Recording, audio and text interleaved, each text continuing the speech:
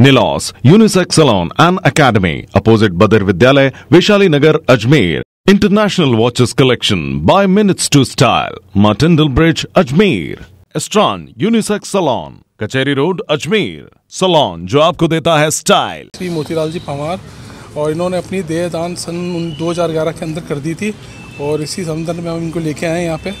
और ये बॉडी हमने यहाँ सपोर्ट कर दी है। उनकी अंतिम इच्छा थी कि भाई मेरे को यहाँ तक हमने उनसे अंत में ही पूछा था कि हम क्या लेके चलना है तो उन्होंने नहीं मुझे तो लेके जाना ही है वहीं जाऊँगा मैं।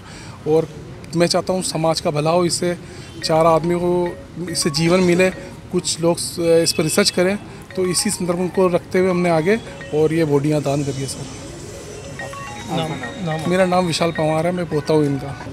समाज सेवी मोतीलाल जी पंवार आज हमारे बीच नहीं रहे। कल उनका देहांत हो गया था। पिचासी वर्ष के ऊपर उनकी उम्र थी।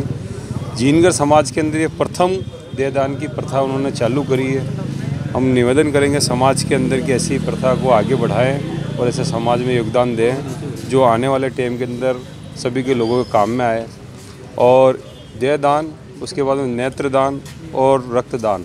इसकी भी प्रेरणा इनसे लेंगे, हम आगे बढ़ेंगे। जीनगर समाज में काफ़ी इनके परिवार के अंदर, ये दुख की घड़ी के अंदर खड़ा है। मैं निवेदन करूँगा सभी से कि ऐसे कार्य के अंदर आगे बढ़ना चाहिए। हीरालाल जीनगर जीनगर समाज मंत्री। डोनेशन जो भी करता है अपनी बॉडी का और उनके परिवार का, क्योंकि इससे हमारे जो भी स्टूडेंट्स पढ़ने आते हैं मेडिकल स्टूडेंट्स उनके बहुत काम आती है बॉडी हम लोग उन्हें शरीर रचना सिखाते हैं।